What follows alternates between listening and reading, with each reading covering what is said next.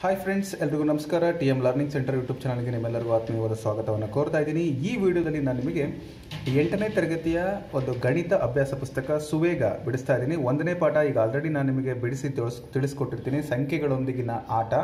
So ಎಂಟನೇ ತರಗತಿಯ ಈ ಒಂದು ಸುವೇಗ ಅಥವಾ ಅಭ್ಯಾಸ, ಚಟುವಟಿಕೆ ಸಹಿತ ಅಭ್ಯಾಸ ಪುಸ್ತಕ ಏನಿದೆ, ಇದು ಕೇವಲ ಎಂಟನೇ ತರಗತಿ ವಿದ್ಯಾರ್ಥಿಗಳಿಗಷ್ಟೇ ಅಲ್ಲದೆ ಸ್ಪರ್ಧಾತ್ಮಕ ಪರೀಕ್ಷೆ ನಡೆಸಿರ್ತಕ್ಕಂತಹ ಅಂದರೆ ತಯಾರಿ ನಡೆಸಿರ್ತಕ್ಕಂತಹ G P S T R ಅಥವಾ ಹೈಸ್ಕೂಲ್ ಟೀಚರ್ ನೇಮಕಾತಿ ಆಗಿರ್ಬೋದು ಅಥವಾ ಕರ್ನಾಟಕ ಶಿಕ್ಷಕರ ಅರ್ಹತಾ ಪರೀಕ್ಷೆಗೂ ಕೂಡ ಸಾಕಷ್ಟು ಸಹಾಯವನ್ನು ಮಾಡುತ್ತೆ. ನಿಮ್ಮ ಉತ್ತಮವಾದ ಪ್ರತಿಕ್ರಿಯೆಯನ್ನು ಆಧರಿಸಿ ನಾನು ಪಾಠಗಳನ್ನು ಕಂಟಿನ್ಯೂ ಮಾಡ್ತಾ ಇದ್ದೀನಿ.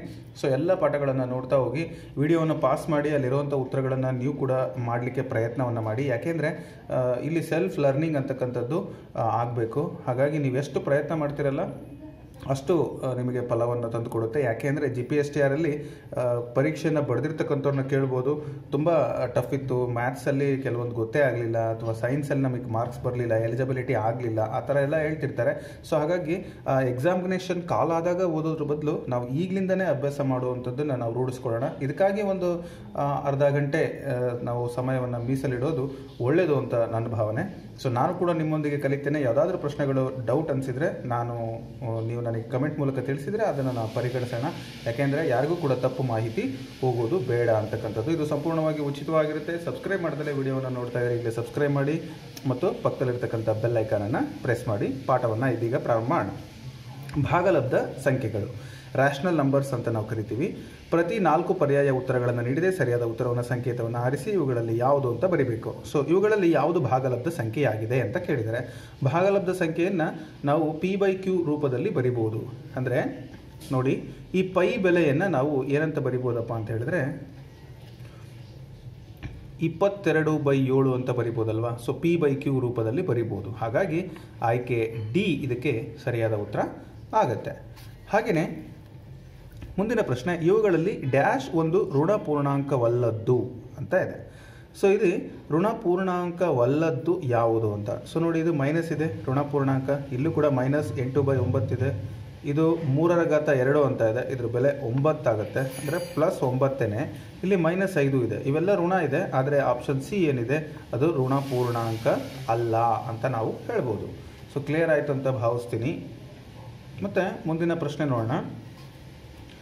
ನಾಲ್ಕು ಏಳನೇ ಐದು ರ ವಿತ್ ಕುರ್ಮ ಅಂತ ಕೇಳಿದ್ದಾರೆ.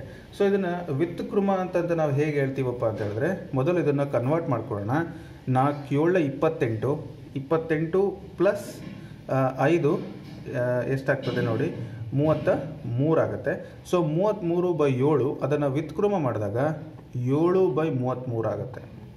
ಸೊ ಕ್ಲಿಯರ್ ಆಯ್ತಲ್ವಾ? ಸೊ ಏಳು ಬೈ ಮೂವತ್ತ್ಮೂರು ಅನ್ನೋದು ಆಪ್ಷನ್ ಬಿನಲ್ಲಿದೆ ಹಾಗಾಗಿ ಇದಕ್ಕೆ ಬಿ ಅಂತ ಉತ್ತರನ ನೀವು ಬರಿಬೇಕಾಗತ್ತೆ. ಮೊದಲು ಕನ್ವರ್ಟ್ ಮಾಡಬೇಕು, ನಂತರ ಅದನ್ನು ವ್ಯುತ್ಕ್ರಮ ಮಾಡಬೇಕು. ನೆಕ್ಸ್ಟ್ ಅದೇ ಥರನೇ ಮತ್ತೊಂದು ಪ್ರಶ್ನೆ, ಐದು ಬೈ ನಾಲ್ಕು ಇಂಟು ಇಪ್ಪತ್ನಾಲ್ಕು ಬೈ ಮೂವತ್ತೈದು ಅಂತ ಇದೆ. ಇದರ ವಿತ್ಕ್ರಮ ಕೇಳಿದ್ದಾರೆ. ನೋಡಿ, ಇದನ್ನು ಕ್ಯಾನ್ಸಲ್ ಮಾಡ್ಬೋದು, ಐದು ಒಂದಲೇ ಐದು ಏಳು ಮೂವತ್ತೈದು.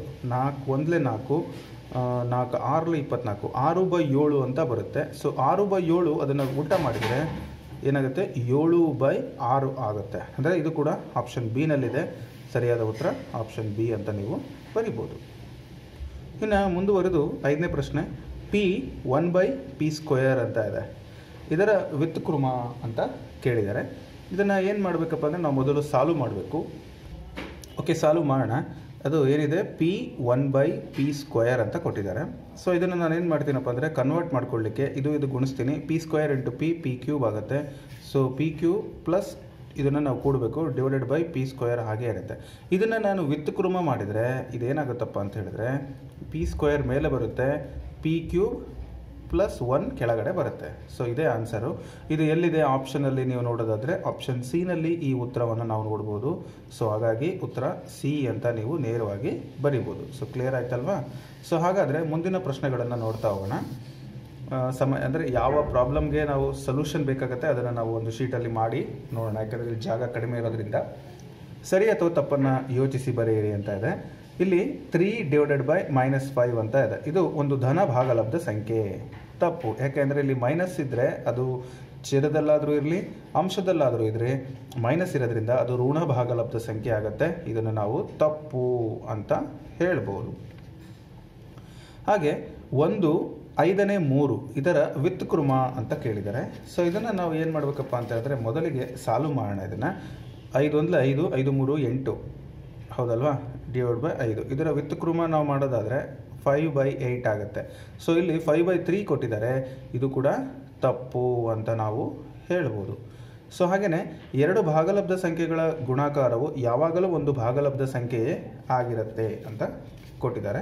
ಅದನ್ನು ನಾವು ಒಂದ್ಸರಿ ಚೆಕ್ ಮಾಡಿ ನೋಡೋಣ. One by two into one by three ಇವೆರಡು ಭಾಗಲಬ್ಧ ಸಂಖ್ಯೆಗಳನ್ನು ತೊಗೊಂಡಿದ್ದೀನಿ. ಗುಣಾಕಾರ ಮಾಡ್ತೀನಿ. ಒಂದೊಂದಲೇ ಒಂದು, ಮೂರು, ಎರಡಲ, ಆರು.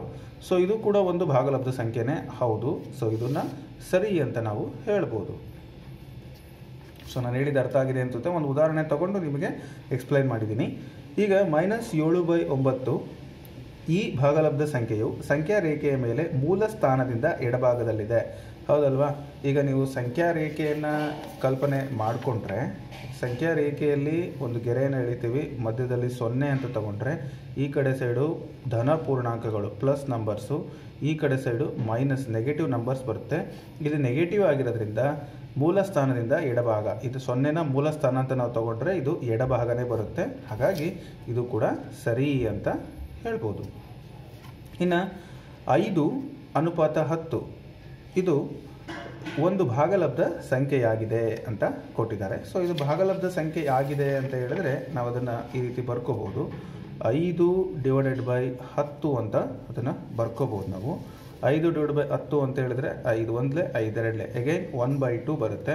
ಹೌದು, ಇದು ಒಂದು ಭಾಗಲಬ್ಧ ಸಂಖ್ಯೆ. ಅಂದರೆ ಯಾವ ಸಂಖ್ಯೆಗಳನ್ನು ಪಿ ಬೈ ಕ್ಯೂ ರೂಪದಲ್ಲಿ ಬರಿತೀವೋ where Q is not equal to zero ಅವುಗಳನ್ನು ನಾವು ಭಾಗಲಬ್ಧ ಸಂಖ್ಯೆಗಳು ಅಂತ ಕರಿತೀವಿ. ಸೊ ಹಾಗಾಗಿ ಇದು ಸರಿ. ಸೊ ಕ್ಲಿಯರ್ ಆಗಿದೆ ಅಂತ ಭಾವಿಸ್ತೀನಿ. ಮುಂದಿನ ಪ್ರಶ್ನೆಗೆ ಹೋಗೋಣ.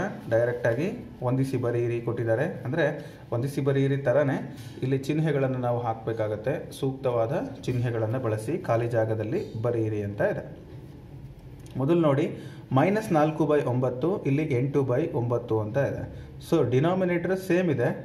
ಅಂದರೆ ಛೇದ ಒಂದೇ ಇದ್ದಾಗ ಅಂಶದಲ್ಲಿ ಯಾವುದು ದೊಡ್ಡದೋ ಅದೇ ದೊಡ್ಡದು. ಹಾಗಾಗಿ ಇಲ್ಲಿ ಎಂಟು ದೊಡ್ಡದ ಮೈನಸ್ ನಾಲ್ಕು ದೊಡ್ಡದ, ಎಂಟು ದೊಡ್ಡದು. ಸೊ ಈ ರೀತಿ ಹಾಕಬೇಕು.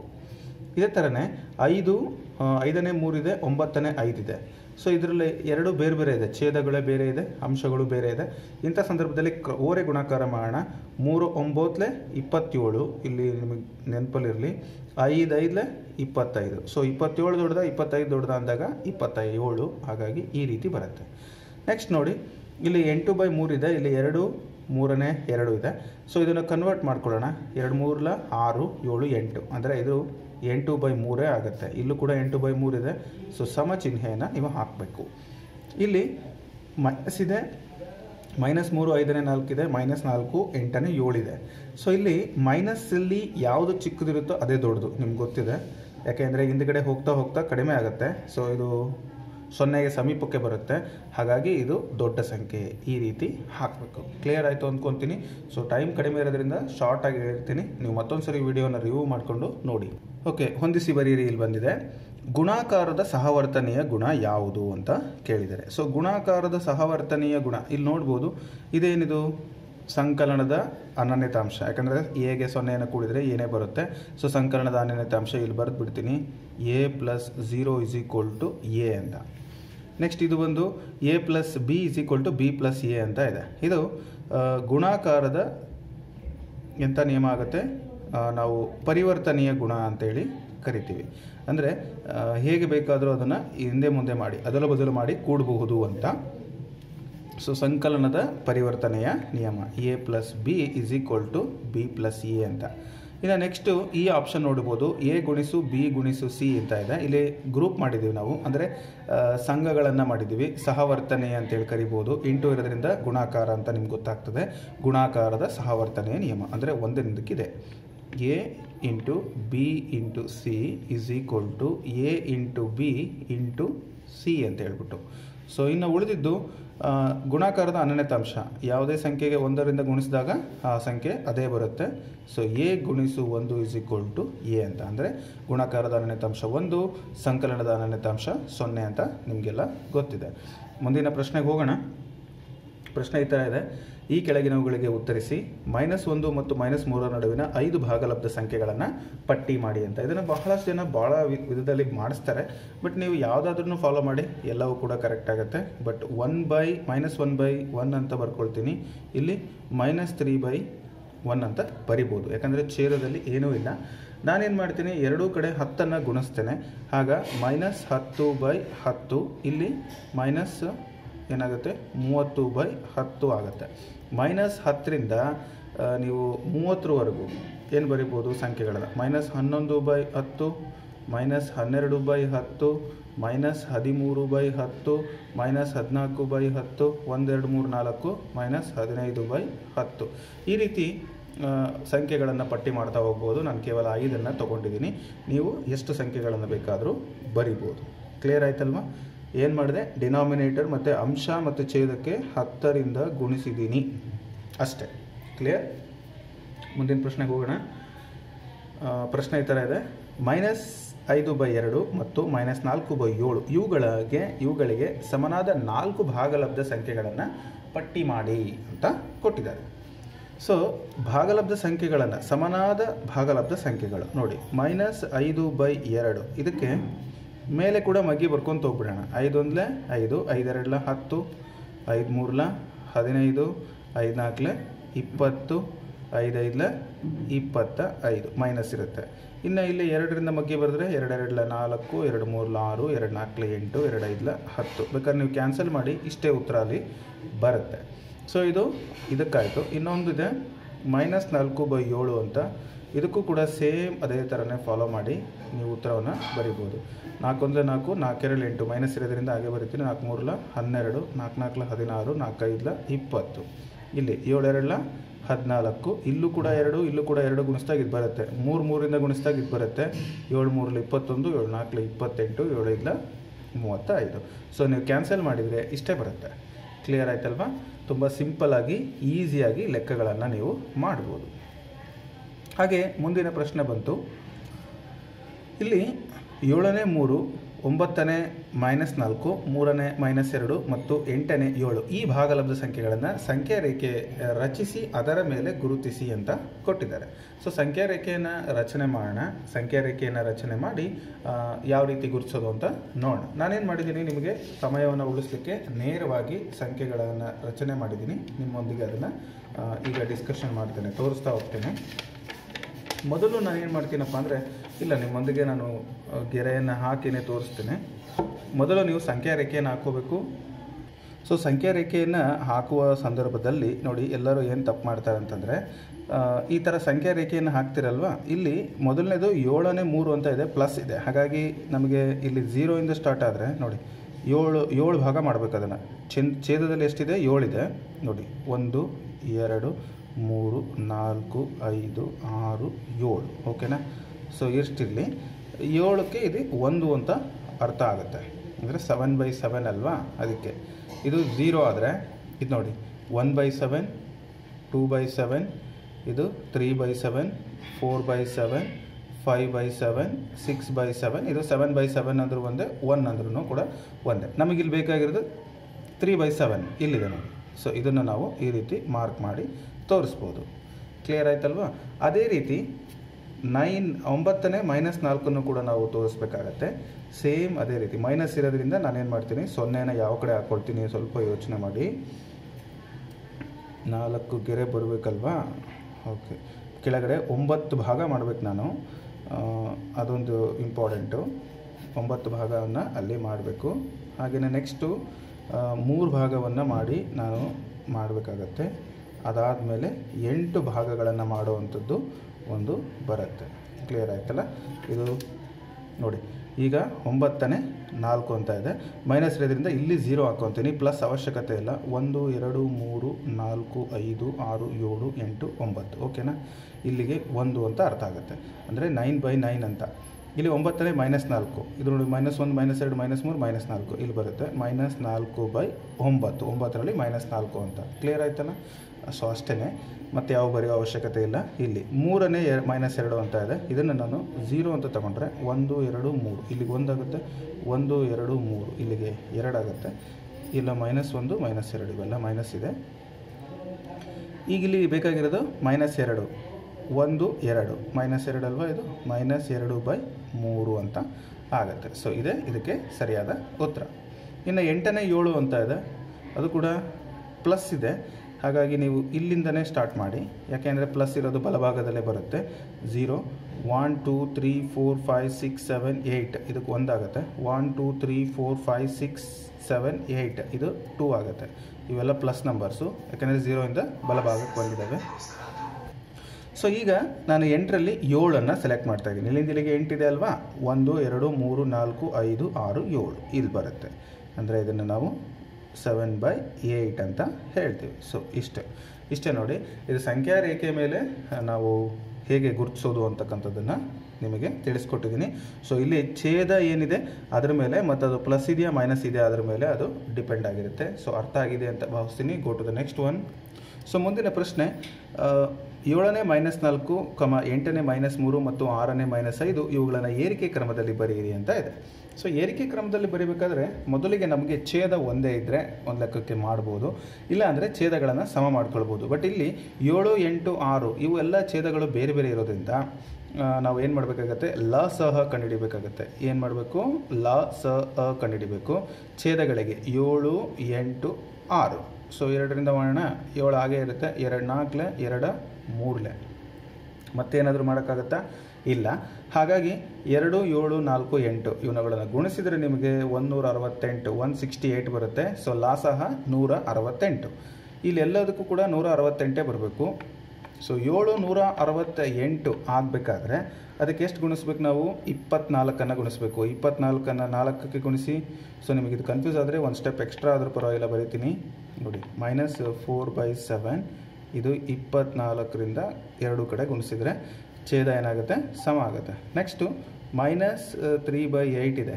ಎಂಟಕ್ಕೆ ಎಷ್ಟು ಗುಣಿಸಿದರೆ ನೂರ ಅರವತ್ತೆಂಟು ಆಗುತ್ತೆ ಅಂತ ಇಪ್ಪತ್ತ ಒಂದರಿಂದ ಗುಣಿಸ್ಬೇಕು. ಸೊ ಇದು ಹೆಂಗೆ ಗೊತ್ತಾಗುತ್ತೆ? ನೋಡಿ, ಎಂಟನ್ನು ಬಿಟ್ಟು ಉಳಿದಿದ್ದು ಯಾವುದು? ಆರು ಏಳ. ಸೊ ಎಂಟು ಎಂಟು ಅಂದರೆ ನೋಡಿ ನಾಲ್ಕು, ಎರಡಲ ಎಂಟು, ಏಳು, ಮೂರಲ ಇಪ್ಪತ್ತೊಂದು. ಸೊ ಅಲ್ಲಿ ನಾಲ್ಕು, ಎರಡಲ ಎಂಟು ಬಿಟ್ಟು ಉಳಿದಿದ್ದು ಏಳು, ಮೂರಲ ಇಪ್ಪತ್ತೊಂದು ಅಂತ ನಿಮ್ಗೆ ಗೊತ್ತಾಗ್ಬಿಡುತ್ತೆ ಇಲ್ಲಿ. ಸೊ ನೆಕ್ಸ್ಟ್ ಇನ್ನೊಂದು ಯಾವುದು? ಮೈನಸ್ ಫೈವ್ ಬೈ ಸಿಕ್ಸ್ ಇದೆ. ಸಿಕ್ಸ್ ಅಂದರೆ ತ್ರೀ ಟೂ ಝ ಸಿಕ್ಸ್ ಆಗುತ್ತೆ. ನಾಲ್ಕು, ಏಳ, ಇಪ್ಪತ್ತೆಂಟು. ಅಂದರೆ ಇಲ್ಲೂ ಕೂಡ ಇಪ್ಪತ್ತೆಂಟು, ಇಲ್ಲೂ ಕೂಡ ಇಪ್ಪತ್ತೆಂಟನ್ನು ಗುಣಿಸಿ. ಆಗೇನಾಗುತ್ತೆ ಇದ್ರ ಛೇದ ನೂರ ಅರವತ್ತೆಂಟು ಬರುತ್ತೆ. ಇಲ್ಲೂ ಕೂಡ ನೂರ ಅರವತ್ತೆಂಟು ಬರುತ್ತೆ. ಇಲ್ಲೂ ಕೂಡ ನೂರ ಅರವತ್ತ ಎಂಟು ಬರುತ್ತೆ. ಚಿಂತೆ ಇಲ್ಲ. ಎಲ್ಲ ಛೇದ ಒಂದೇ ಆಯಿತು. ಈಗ ಇದರ ಅಂಶವನ್ನು ಗುಣಿಸಿದರೆ ಮೈನಸ್ ತೊಂಬತ್ತ ಆರು ಇಲ್ಲಿ ಮೈನಸ್ ಅರವತ್ತ್ಮೂರು ಬರುತ್ತೆ, ಇಲ್ಲಿ ಮೈನಸ್ ನೂರ ನಲವತ್ತು ಬರುತ್ತೆ. ಈಗ ನಿಮಗೆ ಗೊತ್ತಾಯಿತು ಅಂದ್ಕೊಳ್ತೀನಿ ಯಾವುದು ಇದರಲ್ಲಿ ಛೇದ ಸಮ ಇದ್ದಾಗ ಮೈನಸಲ್ಲಿ ಯಾವುದು ಚಿಕ್ಕದಿರುತ್ತೋ ಅದೇ ದೊಡ್ಡದು. ಹಾಗಾದರೆ ಯಾವುದು ಚಿಕ್ಕದು? ಅರವತ್ತ್ಮೂರೇ ದೊಡ್ಡದು. ಅತ್ಯಂತ ಚಿಕ್ಕದು ನೂರ ನಲವತ್ತ, ನೂರ ನಲವತ್ತು ಅಂತ ನಿಮ್ಗೆ ಗೊತ್ತಾಯಿತು. ಇಲ್ಲಿ ಬರೀತೀನಿ ಉತ್ತರ ನಾನು. ಹಾಗಾಗಿ ಇದು ಉತ್ತರ ಇದಕ್ಕೆ ಬರುತ್ತೆ. ಸೊ ಅತ್ಯಂತ ಚಿಕ್ಕದು ಯಾವುದು ಮೊದಲು ಬರೆಯೋಣ? ಇದೆ. ಅಂದರೆ minus five by six so it is greater than minus four by seven greater than minus three by eight ಅಂತ ಆಗುತ್ತೆ. ಸೊ ಕ್ಲೀನಾಗಿ ಇನ್ನೊಂದು ಸರಿ ನೋಡಿ. ಜಾಗ ಕಡಿಮೆ ಇದೆ ಅಂಥೇಳಿ ನಾನು ನಿಮಗೆ ಸ್ವಲ್ಪ ಕನ್ಸಿಸ್ಟೆಡ್ ಆಗಿ ಬರೆದಿದ್ದೀನಿ. ನೀವು ಅಬ್ಸರ್ವ್ ಮಾಡಿ ನೀಟಾಗಿ ಇದನ್ನು ಬರ್ಕೊಳ್ಳಿ. ಕ್ಲಿಯರ್ ಆಯ್ತಲ್ವಾ? ಸೊ ನಿಮ್ಮ ಒಂದು ಇನ್ನಷ್ಟು ಕ್ಲಾರಿಫಿಕೇಷನ್ಗೆ ನಾನು ಆಗಲೇ ಹೇಳ್ದಂಗೆ ಸ್ವಲ್ಪ ದೊಡ್ಡದಾಗಿ ಬರೆದು ತೋರಿಸ್ತಾ ಇದ್ದೀನಿ. ಮೊದಲು ಲಾ ಸಹ ನೂರ ಅರವತ್ತೆಂಟು ಬಂತು ಛೇದವನ್ನು ನಾನು ಅಲ್ಲಿ ಸಮ ಮಾಡಿಕೊಳ್ಳಿಕ್ಕೆ ಪ್ರಯತ್ನ ಮಾಡ್ತಾ ಇದ್ದೀನಿ. ಯಾವ ರೀತಿ? ಇಪ್ಪತ್ನಾಲ್ಕನ್ನು ಗುಣಿಸಿದ್ದೀನಿ, ಇಲ್ಲಿ ಇಪ್ಪತ್ತೊಂದು, ಇಪ್ಪತ್ತೆಂಟನ್ನು ಅಂಶ ಮತ್ತು ಛೇದ ಎರಡಕ್ಕೂ ಕೂಡ ಗುಣಿಸಿದ್ದೀನಿ. ಆಗ ನೋಡಿ, ನೂರ ತೊಂಬತ್ತ ಆರು ಬೈ ನೂರ ಅರವತ್ತೆಂಟು ಮೈನಸ್ ಅರವತ್ತ್ಮೂರು ಬೈ ನೂರ ಅರವತ್ತೆಂಟು ಮೈನಸ್ ನೂರ ನಲವತ್ತು ಬೈ ನೂರ ಅರವತ್ತೆಂಟು ಬಂತು. ಇದನ್ನು ಏರಿಕೆ ಕ್ರಮದಲ್ಲಿ ಬರೆದ್ರೆ, ಅಂಶದಲ್ಲಿ ಯಾವುದು ಮೈನಸ್ಸಿಂದ ಚಿಕ್ಕದಿರುತ್ತೋ ದೊಡ್ಡದಿರೋದೇ ಚಿಕ್ಕದಾಗುತ್ತೆ. ಹಾಗಾಗಿ ಚಿಕ್ಕದು, ಅದಕ್ಕಿಂತ ದೊಡ್ಡದು ಅದಕ್ಕಿಂತ ದೊಡ್ಡದು. ಸೊ ಇದು, ಅದು ಕರೆಸ್ಪಾಂಡಿಂಗ್ ವ್ಯಾಲ್ಯೂಸ್ ಇಲ್ಲಿ ಬರುತ್ತೆ. ಸೊ ಇದು ಕರೆಕ್ಟ್ ಆದಂಥ ಉತ್ತರ ಆಗುತ್ತೆ. ಸೊ ಕ್ಲಿಯರ್ ಆಯ್ತಲ್ವಾ? ಸೊ ಇದನ್ನು ನೋಡಿ ಮುಂದುವರ್ಸೋಣ ಈಗ. ಮುಂದಿನ ಪ್ರಶ್ನೆನ ನೋಡಿ. ಏನಿದೆ? ಪ್ರಶ್ನೆ ಈ ಥರ ಇದೆ. ಮೈನಸ್ ಆರು, ಹನ್ನೊಂದನೇ ಒಂಬತ್ತು ಮತ್ತು ಮೈನಸ್ ಮೂರು, ಏಳನೇ ನಾಲ್ಕು ಇವುಗಳಲ್ಲಿ ಯಾವುದು ದೊಡ್ಡದು ಅಂತ ಕೇಳಿದ್ದಾರೆ. ಸೊ ಇದನ್ನು ಹೇಗಪ್ಪ ಕಂಡುಹಿಡಿತೀವಿ ಅಂತ ಹೇಳಿದ್ರೆ, ತುಂಬ ಸಿಂಪಲ್ಲು ಮೈನಸ್ ಆರು ನೈನ್ ಬೈ ಲೆವೆನ್ನು ಇಲ್ಲಿ ಬಾಕ್ಸ್ ಹಾಕ್ಕೊಳ್ಳೋಣ minus three four by seven so ನಿಮ್ಗೆ ನೆನಪಿರಲಿ ಮೈನಸಲ್ಲಿ ದೊಡ್ಡದಿರೋದು ಚಿಕ್ಕದಾಗುತ್ತೆ, ಚಿಕ್ಕದಿರೋದು ದೊಡ್ಡದಾಗುತ್ತೆ. ಹೌದಲ್ವಾ? ಅಂದರೆ ಅರ್ಥ, ಇದರಲ್ಲಿ ಯಾವ್ದು ದೊಡ್ಡದು? ಮೈನಸ್ ಮೂರು ಇದೇ ದೊಡ್ಡದು. ಹಾಗಾಗಿ ಈ ರೀತಿ ಹಾಕಬೇಕು. ಸೊ ದೊಡ್ಡದು ಅಂದರೆ ಬೇಕಾದ್ರೆ ಬರೆದು. ದೊಡ್ಡದು. Minus three four by seven ಅಂತಲೇ ನೀವು ಉತ್ತರವನ್ನು ಬರಿಬೋದು. ತುಂಬ ಸಿಂಪಲ್ಲಾಗಿ ನೀವು ಲೆಕ್ಕವನ್ನು ಕಲಿಬೋದು. ಸೊ ನೆಕ್ಸ್ಟ್ ಲೆಕ್ಕ ಈ ಥರ ಇದೆ. Minus six by eleven plus three thirteen by eight ಇದರ ಮೊತ್ತವನ್ನು ಕಂಡುಹಿಡಿಯಿರಿ ಅಂತ ಕೊಟ್ಟಿದ್ದಾರೆ. ಸೊ ಮೊದಲಿಗೆ ಮೊತ್ತ ಕಂಡುಹಿಡಿಬೇಕಾದ್ರೆ ಛೇದಗಳನ್ನು ಸಮ ಮಾಡಿಕೊಳ್ಬೇಕು. ಛೇದಗಳು ಸಮ ಇಲ್ಲ. ಹಾಗಾಗಿ ಸಮ ಮಾಡ್ಕೊಳ್ಳೋಣ. ಇಲ್ಲಿ ಎಂಟಿದೆ, ಹನ್ನೊಂದಿದೆ. ಇವುಗಳನ್ನು ನಾವು ಏನು ಮಾಡಬೇಕಾಗುತ್ತೆ? ಲಸಹ ಕಂಡುಹಿಡಿದ್ರೆ ಇವು ಕೋ ಪ್ರೈಮ್ ನಂಬರ್ಸ್ ಅಂತ ನಾವು ಕರಿತೀವಿ. ಸೊ ಕೋ ಪ್ರೈಮ್ ನಂಬರ್ಸಿಗೆ ಲಸಹ ಕಂಡುಹಿಡಿಯೋದಕ್ಕೆ ಹೋಗೋದೇನು ಅವಶ್ಯಕತೆ ಇಲ್ಲ. ಎರಡು ಗುಣಿಸೋಣ. ಹನ್ನೊಂದು ಎಂಟ್ಲೆ ಎಂಬತ್ತೆಂಟು. ಸೊ ಎಂಬತ್ತೆಂಟು ಅನ್ನೋದೇ ಇದರ ಒಂದು ಲಸಹ ಆಗುತ್ತೆ. ಹಾಗಾಗಿ ಹನ್ನೊಂದಕ್ಕೆ ಎರಡೂ ಕಡೆ ಅಂಶ ಮತ್ತು ಛೇದಕ್ಕೆ ಎಂಟರಿಂದ ಮತ್ತು ಎಂಟಕ್ಕೆ ಹನ್ನೊಂದರಿಂದ, ಎರಡೂ ಕಡೆ ಹನ್ನೊಂದರಿಂದ ಗುಣಿಸ್ತೀನಿ. ಆಗ ಇದು ಎಂಬತ್ತೆಂಟು ಆರೆಂಟ್ಲ ನಲವತ್ತೆಂಟು, ಸೊ ಮೈನಸ್ ನಲವತ್ತೆಂಟಾಗುತ್ತೆ ಪ್ಲಸ್ಗೆ ಪ್ಲಸ್ ಆಗೇ ಇರುತ್ತೆ, ಎಂಬತ್ತೆಂಟು ಛೇದದಲ್ಲಿ ಬರುತ್ತೆ. ಹದಿಮೂರು ಗುಣಿಸು ಹನ್ನೊಂದು ಮಾಡಿದರೆ ಒಂದೂರ ನಲವತ್ತ ಮೂರು ಬರುತ್ತೆ.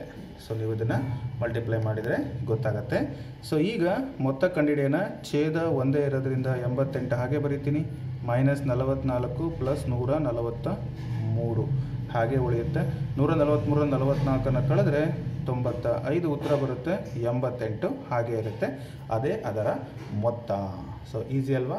ತುಂಬ ಕ್ಲಿಯರ್ ಮತ್ತು ತುಂಬ ಸುಲಭವಾದಂತಹ ಲೆಕ್ಕ. ಹಾಗೆ ಮುಂದಿನ ಲೆಕ್ಕಕ್ಕೆ ಹೋಗೋಣ. ಮೈನಸ್ ನಾಲ್ಕು ಬೈ ಐದು ಗುಣಿಸು ಎರಡು ಬೈ ಮೂರು ಗುಣಿಸು ಮೈನಸ್ ಎಂಟು ಬೈ ಒಂಬತ್ತು ಇದರ ಒಂದು ಗುಣಲಬ್ಧವನ್ನು ಕಂಡುಹಿಡಿಯಿರಿ ಅಂತ ಕೊಟ್ಟಿದ್ದಾರೆ. ಭಾಳ ಈಸಿಯಾಗಿ ಇದರ ಗುಣಲಬ್ಧವನ್ನು ಕೂಡ ಕಂಡುಹಿಡಿಬೋದು ನಾವು. ನೋಡಿ, ಬರ್ಕೊಳ್ತೀನಿ ಒಂದು ಸಲ ಮೈನಸ್ ನಾಲ್ಕು ಬೈ ಐದು, two by three, minus eight by nine. ಇಲ್ಲಿ ಕ್ಯಾನ್ಸಲ್ ಆಗುವಂಥವನ್ನು ಕ್ಯಾನ್ಸಲ್ ಮಾಡೋಣ. ಹೇಗೆ? ಕ್ಯಾನ್ಸಲ್ ಆಗುತ್ತಾ? ನೋಡೋಣ ಮೊದಲಿಗೆ. ಸೊ ಇಲ್ಲ ಅಂತಂದರೆ ಅದನ್ನು ಹಾಗೆ ಬರ್ಕೋಬೋದು ಸೊ ಐದರಿಂದ ಕ್ಯಾನ್ಸಲ್ ಆಗೋದಿಲ್ಲ, ಮೂರರಿಂದನೂ ಕೂಡ ಯಾವ ಕ್ಯಾನ್ಸಲ್ ಆಗಲ್ಲ, ಇನ್ನು ಒಂಬತ್ತರಿಂದ ಕೂಡ ಯಾವ ಕೂಡ ಕ್ಯಾನ್ಸಲ್ ಆಗೋದಿಲ್ಲ. ಸೊ ಹಾಗಾಗಿ ನಾನೇನು ಮಾಡ್ತಾ ಇದ್ದೀನಿ, ಅಂಶವನ್ನೆಲ್ಲ ಗುಣಿಸ್ತಾ ಇದ್ದೀನಿ. ನೋಡಿ ಮೈನಸ್ಸು ಇಲ್ಲೂ ಒಂದು ಮೈನಸ್ ಇದೆ ಮೈನಸ್ ಇಂಟು ಮೈನಸ್ ಪ್ಲಸ್ ಆಗುತ್ತೆ. ಸೊ ಪ್ಲಸ್ ಹಾಗೆ ಇರಲಿ. ನಾಲ್ಕರಲ್ಲಿ ಎಂಟು ಎಂಟೆಂಟ್ಲ ಅರವತ್ತ ನಾಲ್ಕು ಡಿನಾಮಿನೇಟ್ರಲ್ಲಿ ಐದು ಮೂರಲ್ಲಿ ಹದಿನೈದು ಹದಿನೈದು ಒಂಬತ್ತಲೆ ನೂರ ಮೂವತ್ತ ಐದು ಸೊ ಇದನ್ನು ಮತ್ತೆ ಕ್ಯಾನ್ಸಲ್ ಮಾಡಲಿಕ್ಕೆ ಬರಲ್ಲ. ಹಾಗೆ ಬರೀರಿ. ಅದೇ ಅದಕ್ಕೆ ಸರಿಯಾದ ಉತ್ತರ ಆಗುತ್ತೆ. ಇನ್ನು ಕೊನೆ, ಇನ್ನೊಂದು ಪ್ರಶ್ನೆ ಇದೆ. ಪ್ರಶ್ನೆ ಸಂಖ್ಯೆ ಎಂಟು. ಇದನ್ನು ನೋಡೋಣ. ಎಂಟನೇ ಪ್ರಶ್ನೆ ಏನು ಹೇಳ್ತಾ ಇದೆ? ಎರಡು ಭಾಗಲಬ್ಧ ಸಂಖ್ಯೆಗಳ ವ್ಯತ್ಯಾಸ ಒಂದು ಭಾಗಲಬ್ಧ ಸಂಖ್ಯೆಯೇ. ಉದಾಹರಣೆಗಳೊಂದಿಗೆ ಚರ್ಚಿಸಿ ನಿಮ್ಮ ತೀರ್ಮಾನವನ್ನು ಬರೆಯಿರಿ ಅಂತ ಕೊಟ್ಟಿದ್ದಾರೆ. ಎರಡು ಭಾಗಲಬ್ಧ ಸಂಖ್ಯೆಗಳನ್ನು ಬರ್ಕೊಳ್ಳೋಣ ನಾನೀಗ ಒಂದು ಉದಾಹರಣೆ ತೊಗೊಳ್ತೀನಿ. ಮೈನಸ್ ತ್ರೀ ಬೈ ಸಿಕ್ಸ್ ಅಂತ. ಮತ್ತೊಂದು ಫೋರ್ ಬೈ ಸಿಕ್ಸ್ ಅಂತ ತಗೊಳ್ತೀನಿ. ಛೇದ ಎರಡು ಸೇಮ್ ಇದೆ. ಈಸಿ ಆಗಲಿ ಅಂತ ಹೇಳ್ಬಿಟ್ಟು. ಸೊ ಈ ಸಂಖ್ಯೆಯನ್ನು ನಾವು ಮೈನಸ್ ಮಾಡಿದರೆ ಛೇದ ಆರಾಗೇ ಇರುತ್ತೆ ಮೈನಸ್ ಮೂರು ಮೈನಸ್ ನಾಲ್ಕು. ಅಂದರೆ ಮೈನಸ್ ಏಳು ಬೈ ಆರಾಗುತ್ತೆ ಅಂದರೆ ವ್ಯತ್ಯಾಸ ಏನಾಯ್ತಪ್ಪ ಅಂತಂದರೆ ಇದು ಕೂಡ ಒಂದು ಭಾಗಲಬ್ಧ ಸಂಖ್ಯೆಯೇ ಆಗಿದೆ. ಎರಡು ಭಾಗಲಬ್ಧ ಸಂಖ್ಯೆಗಳ ವ್ಯತ್ಯಾಸ ಕೂಡ ಒಂದು ಭಾಗಲಬ್ಧ ಸಂಖ್ಯೆಯೇ ಆಗಿದೆ ಅಂತೇಳಿ ನಾವು ಹೇಳ್ಬೋದು. ಇಲ್ಲಿ ಬರೀಬೋದು ಬೇಕಾದ್ರೆ. ಸೊ ಎರಡು ಭಾಗಲಬ್ಧ ಸಂಖ್ಯೆಗಳ ವ್ಯತ್ಯಾಸವು ಭಾಗಲಬ್ಧ ಸಂಖ್ಯೆಯಾಗಿದೆ ಅಂತ ನಾವು ಬರಿಬೋದು. ಸೊ ಮುಂದಿನ ಲೆಕ್ಕ ಸಂಕ್ಷೇಪಿಸಿ ಅಂತ ಕೊಟ್ಟಿದ್ದಾರೆ. Seven by eight into minus four by thirty five into minus two by three into five by nine ಅಂತ ಇದೆ. ಎಲ್ಲವೂ ಕೂಡ ಇಂಟು ಇದೆ. ಅದನ್ನು ಹಾಗೆ ಬರ್ಕೊಳ್ಳೋಣ ಒಂದು ಸಲ seven by eight into minus four by thirty five into minus two by three into five by nine ಅಂತ ಇದೆ. ಸೊ ಕ್ಯಾನ್ಸಲ್ ಮಾಡಲಿಕ್ಕಾದರೆ ಕ್ಯಾನ್ಸಲ್ ಮಾಡಿ, ಮಾಡ್ಬೋದು. ಐದು ಒಂದಲೇ, ಐದು ಏಳಲೆ ಸೊ ಏಳು ಒಂದಲೇ ಏಳು ಏಳು ಒಂದಲೇ ಏಳು. ಕ್ಯಾನ್ಸಲ್ ಆಯ್ತಲ್ವಾ? ಎರಡರಿಂದ ಕ್ಯಾನ್ಸಲ್ ಮಾಡಿ, ನಾಲ್ಕು ಒಂದು ನಾಲ್ಕರಿಂದ ಮಾಡಿ, ನಾಲ್ಕು ಒಂದಲೇ ನಾಲ್ಕು ನಾಲ್ಕು ಎರಡಲ ಎಂಟು. ಇಲ್ಲಿ ಎರಡು ಒಂದಲೇ ಎರಡು ಒಂದಲೇ. ಸೊ ನ್ಯೂಮರೇಟ್ರಲ್ಲೆಲ್ಲ ಒಂದೇ ಬಂದಿದೆ. ಇಲ್ಲಿ ಮೈನಸ್ ಇದೆ, ಇಲ್ಲಿ ಮೈನಸ್ ಇದೆ. ಮೈನಸ್ ಇಂಟು ಮೈನಸ್ ಪ್ಲಸ್ ಆಗುತ್ತೆ. ಒಂದು ಹಾಗೆ ಬರುತ್ತೆ. ಇನ್ನು ಡಿನಾಮಿನೇಟ್ರಲ್ಲಿ ಒಂಬತ್ತ್ಮೂರಲೆ ಇಪ್ಪತ್ತ ಏಳು so one by twenty seven ಇದಕ್ಕೆ ಸರಿಯಾದ ಉತ್ತರ ಆಗುತ್ತೆ. ಸೊ ಪ್ಲಸ್ಸೇ ಬರುತ್ತೆ. ಯಾಕೆಂದರೆ minus into minus plus so ಇನ್ನೊಂದು ಪ್ರಶ್ನೆ ನೋಡೋಣ. ಮೈನಸ್ ಮೂರು ಮತ್ತು ಸೊನ್ನೆಯ ನಡುವೆ ಯಾವುದಾದ್ರೂ ಐದು ಭಾಗಲಬ್ಧ ಸಂಖ್ಯೆಗಳನ್ನು ಬರೆಯಿರಿ ಅಂತ. ಸೊ ಇಲ್ಲಿ ಮೈನಸ್ ಮೂರು ಡಿನಾಮಿನೇಟ್ರಲ್ಲಿ ಒಂದಿದೆ ಅಂತ ತಿಳ್ಕೊಳ್ಳಿ. ಸೊನ್ನೆಯಲ್ಲಿ ಏನಿಲ್ಲ ಅಂದರೆ ಒಂದು ಅಂತ ತಿಳ್ಕೊಳ್ಳಿ ಡಿನಾಮಿನೇಟ್ರಲ್ಲಿ ಎರಡೂ ಕಡೆ ನಾನು ಐದರಿಂದ ಗುಣಾಕಾರ ಮಾಡ್ತೇನೆ. ಅಂಶ ಮತ್ತು ಛೇದಕ್ಕೆ. ಇಲ್ಲಿ ಕೂಡ ಹಾಗೆ ಮಾಡ್ತೀನಿ. ಯಾಕೆಂದರೆ ನಡುವೆ ಐದು ಭಾಗಲಬ್ಧ ಸಂಖ್ಯೆಗಳು ಬೇಕಾಗಿರೋದ್ರಿಂದ ಮೈನಸ್ ಐದು ಮೂರಲ ಹದಿನೈದು ಬೈ ಐದು ಇಲ್ಲಿ ಸೊನ್ನೆ ಬೈ ಐದಾಗತ್ತೆ ನೋಡಿ ಇವುಗಳ ಮಧ್ಯದಲ್ಲಿ ಹದಿನೈದರಿಂದ ಮೈನಸ್ ಹದಿನೈದು ಮೈನಸ್ ಹದಿನಾಲ್ಕು ಮೈನಸ್ ಹದಿಮೂರು, ಆಮೇಲೆ ತಾನೇ ಸೊನ್ನೆ ಬರುತ್ತೆ. ಮೈನಸ್ ಒಂದು, ಆಮೇಲೆ ಸೊನ್ನೆ. ಸೊ ನೀವು ಬರಿಬೋದು. ಮೈನಸ್ ಹದಿನಾಲ್ಕು ಬೈ ಐದು ಮೈನಸ್ ಹದಿಮೂರು ಬೈ ಐದು ಮೈನಸ್ ಹನ್ನೆರಡು ಬೈ ಐದು ಮೈನಸ್ ಹದಿ ಹನ್ನೊಂದು ಬೈ ಐದು, ಇನ್ನೊಂದು ಮೈನಸ್ ಹತ್ತು ಬೈ ಐದು. ಒಂದು, ಎರಡು, ಮೂರು, ನಾಲ್ಕು, ಐದು. ಸೊ ಐದು ಭಾಗಲಬ್ಧ ಸಂಖ್ಯೆಗಳನ್ನು ನಾನು ಬರೆದಿದ್ದೀನಿ. ನೀವು ಯಾವುದಾದ್ರೂ ಬರೀರಿ ಅಂತ ಅವರು ಕೊಟ್ಟಿದ್ದಾರೆ. ಸೊ ನೀವು ಬರಿಬೋದು. ಸೊ ಕ್ಲಿಯರ್ ಆಯ್ತಲ್ಲ? ಮುಂದಿನ ಪ್ರಶ್ನೆಗೆ ಹೋಗೋಣ. ಇವುಗಳ ವಿತ್ಕ್ರಮಗಳನ್ನು ಬರೆಯಿರಿ ಅಂತ ಕೊಟ್ಟಿದ್ದಾರೆ. ಸೊ ವಿತ್ಕ್ರಮ ಅಂತ ಹೇಳಿದ್ರೆ ಅಂಶ ಛೇದ ಆಗಬೇಕು, ಛೇದ ಅಂಶ ಆಗಬೇಕು. ಡೈರೆಕ್ಟಾಗಿ ಬರೀತೇನೆ ನಾನು ಇದಕ್ಕೆ. ನೋಡಿ ಮೈನಸ್ ಎರಡು ಬೈ ಏಳು ಅಂತ ಇದೆ. ಏಳು ಬೈ ಎರಡು ಮೈನಸ್ ಅಂತೂ ಬರಿ ಬಿಡ್, ಬಿಡಬಾರ್ದು. ಹಾಗೆ ಬರಿತೀನಿ. ಮತ್ತು ಇದನ್ನು ಕನ್ವರ್ಟ್ ಮಾಡ್ಕೋಬೇಕು ನಾವು. ಮೊದಲು ಕನ್ವರ್ಟ್ ಮಾಡ್ಕೊಳ್ಳೋಣ. ಮೂರಂದಲೇ ಮೂರು, ನಾಲ್ಕು ಮೂರು, ಏಳು ಬೈ ಮೂರಿದೆ ಇದು. ಕನ್ವರ್ಟ್ ಮಾಡಿದ ಮೇಲೆ ಸೊ ಮೂರು ಬೈ ಏಳು ಆಗುತ್ತೆ. ನೆಕ್ಸ್ಟ್ ಇದನ್ನು ಕನ್ವರ್ಟ್ ಮಾಡೋಣ. ಕನ್ವರ್ಟ್ ಮಾಡಿದರೆ ಏನಾಗುತ್ತೆ? ಒಂಬತ್ತೇಳು ಅರವತ್ತ್ಮೂರು ಅರವತ್ತ್ಮೂರು ಅರವತ್ತ್ನಾಲ್ಕು ಅರವತ್ತೈದು. ಸೊ ಅರವತ್ತೈದು ಬೈ ಒಂಬತ್ತಿರೋದು ಏನಾಗುತ್ತೆ? ಒಂಬತ್ತು ಬೈ ಅರವತ್ತೈದು ಆಗುತ್ತೆ. ಇನ್ನು ಇದನ್ನು ಕನ್ವರ್ಟ್ ಮಾಡೋ ಅವಶ್ಯಕತೆ ಇಲ್ಲ. ಮೈನಸ್ ನೈನ್ ಬೈ ಫೋರ್ ಆಗುತ್ತೆ. ಇನ್ನು ಕೊನೆಯದು ಫೈವ್ ಬೈ ಟೂ ಆಗುತ್ತೆ. ಯಾಕಂದರೆ ಟೂ ಬೈ ಫೈವ್ ಇರೋದು ಫೈವ್ ಬೈ ಟೂ ಆಗುತ್ತೆ. ನೇರವಾಗಿ ಉತ್ತರವನ್ನು ಬರೆದಿದ್ದೀನಿ. ಅಂದರೆ ಮಿಶ್ರ ಭಿನ್ನ ರಾಶಿಯನ್ನು ವಿಷಮ ಭಿನ್ನ ರಾಶಿಗೆ ಪರಿವರ್ತನೆ ಮಾಡಿ, ಅಂಶವನ್ನು ಛೇದ ಮಾಡಿ, ಛೇದವನ್ನು ಅಂಶ ಮಾಡಿ. ಇಲ್ಲಿ ಋಣ ಚಿಹ್ನೆ ಯಾವುದೇ ಕಾರಣಕ್ಕೂ ಬದಲಾಗಲ್ಲ. ಯಾಕೆಂದರೆ ಗುಣಾಕಾರದ ವಿತ್ಕೃಮಗಳು ಹಾಗೆಯೇ ಬರ್ತವೆ. ಸೊ ಕ್ಲಿಯರ್ ಆಯಿತು ಅಂತ ಭಾವಿಸ್ತೀನಿ. ಮುಂದಿನ ಲೆಕ್ಕಗಳನ್ನು ನೋಡೋಣ. ಸೊ ಪ್ರಶ್ನೆ ಈ ಥರ ಇದೆ. Five into minus four into nine ಇಲ್ಲಿ ಇದಕ್ಕೆ ಗ್ರೂಪ್ ಮಾಡಿದ್ದಾರೆ. ಮತ್ತು equals five into minus four into nine ಅಂತ ಇದೆ. ಅಂದರೆ ನೈನನ್ನು ಇಲ್ಲಿ ಒಳಗೆ ತೊಗೊಂಡಿದ್ದಾರೆ. ಇಲ್ಲಿ ನೈನನ್ನು ಹೊರಗೆ ಹಾಕಿ ಇವೆರಡನ್ನ ಗ್ರೂಪ್ ಮಾಡಿದ್ದಾರೆ. ನಿಮಗೆ ಗೊತ್ತಾಗ್ಬಿಡುತ್ತೆ, ಇದು ಯಾವ ನಿಯಮ ಅಂತ ಹೇಳಿದರೆ ಸಹವರ್ತನೆಯ, ಗುಣಾಕಾರದ ಸಹವರ್ತನೆಯ ನಿಯಮ ಅಂತ. ಇದನ್ನು ನಾವು ಹೇಗೆ ಮಾಡಬೇಕು? ಸೊ ಬರ್ಕೊಳ್ಳೋಣ ಮೊದಲಿಗೆ. ಸೊ ನಾನು ನಿಮಗೆ ಇಲ್ಲಿ ಡೈರೆಕ್ಟಾಗಿ ತೋರಿಸ್ತಾ ಇದ್ದೀನಿ. ಯಾಕೆ ಅಂತ ಹೇಳಿದ್ರೆ ಸಮಯ ಸ್ವಲ್ಪ ಕಡಿಮೆ ಇರೋದ್ರಿಂದ ನಾನು ಇಲ್ಲಿ ನಿಮಗೆ ಡಿಸ್ಪ್ಲೇ ಮಾಡ್ತಾ ಇದ್ದೀನಿ ನೋಡಿ. So five into minus four into nine ಆಗುತ್ತೆ. ಸೊ ಇದನ್ನು ಸಿಂಪ್ಲಿಫೈ ಮಾಡಿದರೆ ಒಂಬತ್ನಾಲ್ಕು ಮೂವತ್ತಾರು ಮೈನಸ್ ಮೂವತ್ತಾರು ಆಗೇ ಇದೆ ಐದು ಮೂವತ್ತಾರು ಗುಣಿಸಿದರೆ ನೂರ ಎಂಬತ್ತು ಮೈನಸ್ಸೇ ಬರುತ್ತೆ.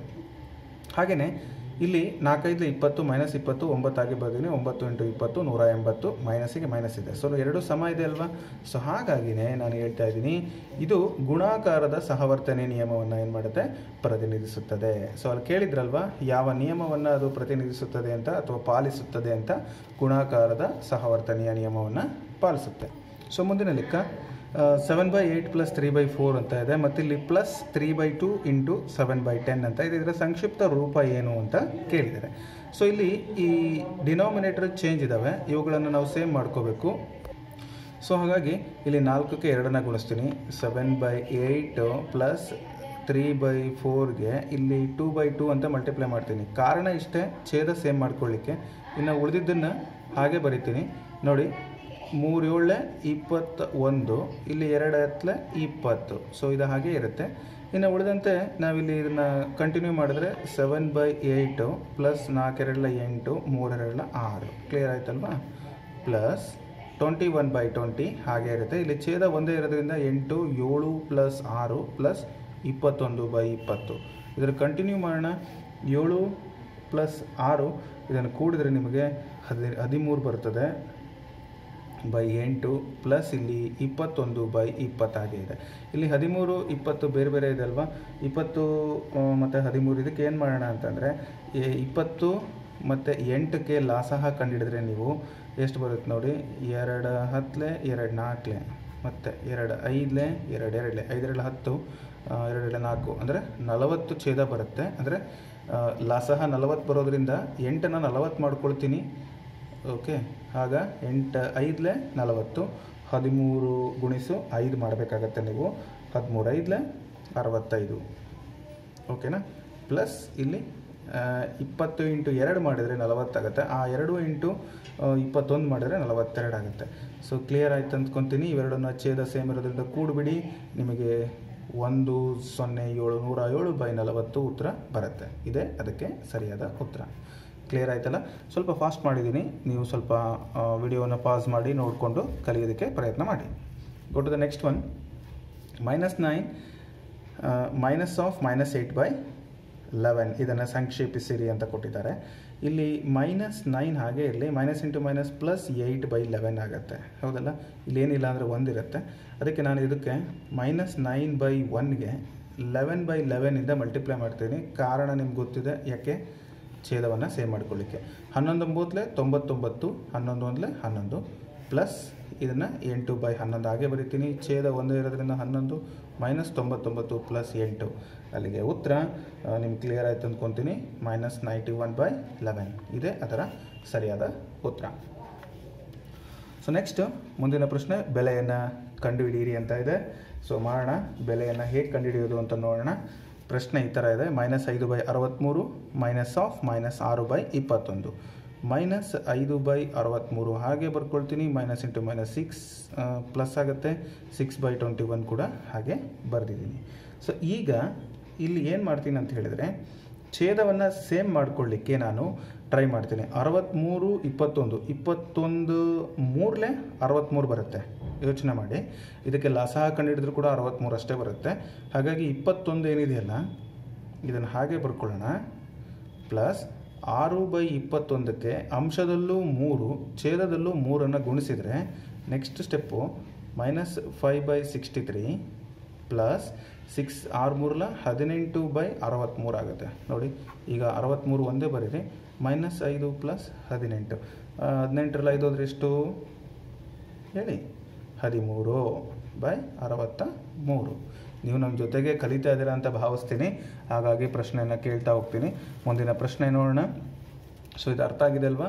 ಗೋ ದ ನೆಕ್ಸ್ಟ್ ಒನ್ ಇಲ್ಲಿ ಗುಣಾಕಾರದ ವಿಲೋಮಾಂಶಗಳನ್ನು ಬರೆಯಿರಿ ಅಂತ ಇದೆ. ಗುಣಾಕಾರದ ವಿಲೋಮಾಂಶ ಅಂತ ಕೊಟ್ಟಿದ್ದಾರೆ. ವಿಲೋಮಾಂಶ ಅಂದರೆ ಗುಣಾಕಾರದ ಕೇಳಬೇಕಂದ್ರೆ ಆಗಲೇ ನಾನು ಹೇಳ್ದಂಗೆ ಅಂಶವನ್ನು ಛೇದ ಮಾಡಿ, ಛೇದವನ್ನು ಅಂಶ ಮಾಡೋದು. ಡೈರೆಕ್ಟಾಗಿ ಬರೆಯೋಣ. ಇದು ನೈನ್ ಬೈ ಫೋರ್ ಆಗುತ್ತೆ, ಮೈನಸ್ ಹಾಗೆ ಇರುತ್ತೆ. ಇದು ಸೆವೆನ್ ಬೈ ಫೈವ್ ಆಗುತ್ತೆ. ಇದನ್ನು ಕನ್ವರ್ಟ್ ಮಾಡೋಣ.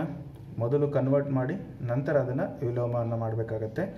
ಏನಾಗುತ್ತೆ? ಐದರಲ್ಲಿ ಹತ್ತು ಹತ್ತು ಮೂರು, ಹದಿಮೂರು ಹದಿಮೂರು ಬೈ ಐದು ಆಗುತ್ತೆ. ಅಂದರೆ ಫೈವ್ ಬೈ ತರ್ಟೀನ್ ಆಗುತ್ತೆ. ಕ್ಲಿಯರ್ ಅಲ್ವಾ? ಉಲ್ಟ ಒಂದೇ ಸಲ ಮಾಡಿದ್ದೀನಿ ನಾನು. ನೆಕ್ಸ್ಟ್ ಒನ್ ಬೈ ಟು ಇದ್ದಿದ್ದು ಟೂ ಬೈ ಒನ್ ಆಗುತ್ತೆ. ಸೊ ಇದಿಷ್ಟು ಒಂದು ಗುಣಾಕಾರದ ವಿಲೋಮಾಂಶ ಅಂತ ನಾವು ಹೇಳ್ಬೋದು. ಸೊ ಮುಂದಿನ ಪ್ರಶ್ನೆ ಮೈನಸ್ ಏಳು ಬೈ ಒಂಬತ್ತು ಕಮ ಎಂಟು ಬೈ ಹನ್ನೊಂದು. ಈ ಭಾಗಲಬ್ಧ ಸಂಖ್ಯೆಗಳು ಸಂಕಲನ ಮತ್ತು ವ್ಯವಕಲನ ಕ್ರಿಯೆಗಳಲ್ಲಿ ಪರಿವರ್ತನೀಯವೇ ಪರೀಕ್ಷಿಸಿ ಅಂತ ಕೊಟ್ಟಿದ್ದಾರೆ. ಅಂದರೆ, ಇವುಗಳನ್ನು ಪರಿವರ್ತನೀಯ ಅಂತ ನಾವು ಮಾಡಬೇಕಾದ್ರೆ ನೋಡಿ A plus B is equal to B plus A ಅಂತ. ಒಂದು. ಇನ್ನೊಂದು A minus B is equal to B minus A ಅಂತ ಒಂದು. ಸೊ ಈ ರೀತಿಯಾಗಿ ನಾವು ಮಾಡಬೇಕಾಗತ್ತೆ. ಒಂದು ಪ್ಲಸ್ ಮಾಡಿ, ಇನ್ನೊಂದು ಮೈನಸ್ ಮಾಡಿ ಕೂಡ ನಾವು ಕಂಡುಹಿಡಿಬೇಕಾಗತ್ತೆ. ಸೊ ಮಾಡೋಣ. ಇವುಗಳನ್ನು ಪರೀಕ್ಷೆ ಮಾಡಿದಾಗ ಅದು ವ್ಯವಕಲನದಲ್ಲಿ ಏನಾಗುತ್ತೆ, ಸಂಕಲನದಲ್ಲಿ ಏನಾಗುತ್ತೆ ಅಂತ ನಾನು ನಿಮಗೆ ಮೊದಲೇ ಮಾಡಿ ತೋರಿಸ್ತಾ ಇದ್ದೀನಿ. ಯಾವ ರೀತಿ ಅಂತ ಹೇಳ್ಬಿಟ್ಟು. ಸೊ ಅಬ್ಸರ್ವ್ ಮಾಡ್ತಿದ್ದೀರಾ ಅಂತ ಭಾವಿಸ್ತೀನಿ. ಮೈನಸ್ ಏಳು ಬೈ ಒಂಬತ್ತು ಪ್ಲಸ್ ಎಂಟು ಬೈ ಹನ್ನೊಂದು. ಇಲ್ಲಿ ಒಂದು ಕೂಡಿದ್ದೀನಿ. ಇಲ್ಲಿ ಅದನ್ನು ಉಲ್ಟಾ ಬರ್ಕೊಂಡಿದ್ದೀನಿ. ಎ ಪ್ಲಸ್ ಬಿ ಮತ್ತು ಬಿ ಪ್ಲಸ್ ಎ ಅಂತ. ಇದನ್ನು ಈ ಕಡೆ ಹಾಕಿದ್ದೀನಿ. A plus B into B plus A ಅಂತ. ಸೊ, ಆಗ ಇವೆರಡರ ಮೊತ್ತ ನೋಡಿ, ಛೇದನ ಹನ್ನೊಂದರಿಂದ ಗುಣಿಸಿದರೆ ತೊಂಬತ್ತೊಂಬತ್ತಾಗುತ್ತೆ ಎಪ್ಪತ್ತೇಳು, ಎಪ್ಪತ್ತೆರಡು, ಮೈನಸ್ ಐದು ಬೈ ತೊಂಬತ್ತೊಂಬತ್ತು. ಇಲ್ಲಿ ಕೂಡ ಅದೇ ಥರನೇ ಮೈನಸ್ ಐದು ಬೈ ತೊಂಬತ್ತೊಂಬತ್ತು. ಸಂಕಲನದ ಪರಿವರ್ತನೆಯ ಗುಣ ಅನ್ವಯಿಸುತ್ತೆ. ಅದೇ ರೀತಿ ವ್ಯವಕಲನವನ್ನು ಮಾಡೋದಾದರೆ minus seven by nine minus ಮಾಡ್ತಾ ಇದ್ದೀನಿ ಏಯ್ಟ್ ಬೈ ಲೆವೆನ್ನು ಸೊ ಇಲ್ಲಿ ಏಯ್ಟ್ ಬೈ ಲೆವೆನ್ನಿಂದ ಇದನ್ನು ಮೈನಸ್ ಮಾಡಿದರೆ ಮೈನಸ್ ಇಂಟು ಮೈನಸ್ ಪ್ಲಸ್ ಆಗುತ್ತೆ ನೋಡಿ. ಇವೆರಡನ್ನು ಕೂಡಿದಾಗ one forty nine by ninety nine ಬರುತ್ತೆ. ಇಲ್ಲಿ minus one forty nine by ninety nine ಬರುತ್ತೆ. ಅಂದರೆ ಮೈನಸ್ಸು ಇಲ್ಲಿ ಪ್ಲಸ್ ಇದೆ ಸೊ ಸಮ ಅಲ್ಲ. ಹಾಗಾಗಿ ವ್ಯವಕಲನದಲ್ಲಿ ಪರಿವರ್ತನೆಯ ಗುಣ ಅನ್ವಯಿಸೋದಿಲ್ಲ ಅಂತ ನೀವು ನೇರವಾಗಿ ಈಸಿಯಾಗಿ ಕಲ್ತ್ಕೋಬೋದು. ಸೊ ಈ ಪಾಠದ ಕೊನೆಯ ಪ್ರಶ್ನೆ ಏನಾಗಿ ಬಂದಿದ್ದೀವಿ ನಾವೀಗ. ನೋಡೋಣ. ವಿತರಣಾ ನಿಯಮವನ್ನು ಬಳಸಿ ಇದನ್ನು ಸಂಕ್ಷೇಪಿಸಿ ಅಂತ ಕೊಟ್ಟಿದ್ದಾರೆ. ಸೊ ಇದನ್ನು ಹೇಗೆ ಸಂಕ್ಷೇಪಿಸಬೇಕು ಅಂತಕ್ಕಂಥದ್ದನ್ನು ನೋಡಿ. ಮೊದಲು ಇಲ್ಲಿ ಕೊಟ್ಟಿರುವಂಥದ್ದನ್ನು ಹಾಗೆ ಬರ್ಕೊಳ್ಳೋಣ. Three by seven into twenty one by twelve ಹೌದಲ್ವಾ? ಫ್ಲವರ್ ಬ್ರಾಕೆಟ್ ಇದೆ. Into two by three plus of minus four by five ಅಂತ ಇದೆ. ಇರಲಿ. ಸೊ ಇಲ್ಲಿ ನೋಡಿ ಕ್ಯಾನ್ಸಲ್ ಮಾಡ್ಬೋದು. ಮೂರು ಒಂದ್ಲೆ ಮೂರು ನಾಲ್ಕಲೆ ಹನ್ನೆರಡು, ಏಳೊಂದ್ಲೆ ಏಳು ಮೂರಲೆ ಇಪ್ಪತ್ತೊಂದು. Three by four ಬರುತ್ತಲ್ಲಿ. Three by four multiplied by two by three plus minus four by five ಅಂತ. ಕ್ಲಿಯರ್ ಅಲ್ವಾ? ಸೊ ಈಗ ವಿತರಣಾ ನಿಯಮವನ್ನು ಬಳಸ್ತಾ ಇದ್ದೀನಿ. ಇದನ್ನು ಇದಕ್ಕೂ ಹಾಕಬೇಕು ಇದಕ್ಕೂ ಹಾಕಬೇಕು. ತ್ರೀ ಬೈ ಫೋರ್ನ ಎರಡಕ್ಕೂ ಕೂಡ ವಿತರಣೆ ಮಾಡೋದು. ಇಲ್ಲಿ ತೋರಿಸ್ತೀನಿ ನೋಡಿ. Three by four multiplied by two by three ಇಲ್ಲಿ ಮೈನಸ್ ಇರೋದ್ರಿಂದ ಮೈನಸ್ ಆಗುತ್ತೆ. Three by four into five by sorry four by five ಇದು three by four into this minus three by four into this so ಈಗ ಫೋರ್ಗೂ ಫೋರ್ಗೂ cancel ಆಯಿತು. Two one ಝ two two ಝ ತ್ರೀ ಒನ್ ಝ ತ್ರೀ ಒನ್ ಝ ಅಲ್ಲಿ ಒನ್ ಬೈ ಟೂ ಉಳಿತು ಮೈನಸ್ ತ್ರೀ ಬೈ ಫೈವ್ ಉಳಿತು. So one by two three by five ಉಳಿದಿದೆ. ಇದನ್ನು ಏನು ಮಾಡಬೇಕು ಅಂತ ಹೇಳಿದ್ರೆ ಐದರಲ್ಲಿ ಹತ್ತು ಆಗುತ್ತೆ. ಸೊ ಡಿನಾಮಿನೇಟರ್ ಟೆನ್ ಆಗುತ್ತೆ. ಐದು ಇಲ್ಲಿ ಬರುತ್ತೆ ಮೈನಸ್ ಎರಡು ಮೂರು ಆರು ಇಲ್ಲಿ ಬರುತ್ತೆ. ಅಲ್ಲಿಗೆ ಮೈನಸ್ ಒನ್ ಬೈ ಟೆನ್ ಅನ್ನೋದು ಉತ್ತರ ಆಗುತ್ತೆ. ಸೊ ಇಷ್ಟು ಈ ಒಂದು ಪಾಠ ಆಗಿತ್ತು. ಇದು ಭಾಗಲಬ್ಧ ಸಂಖ್ಯೆಗಳಿಗೆ ಕುರಿತು ನನ್ನ ಒಂದು ಸಣ್ಣ ಪ್ರಯತ್ನ.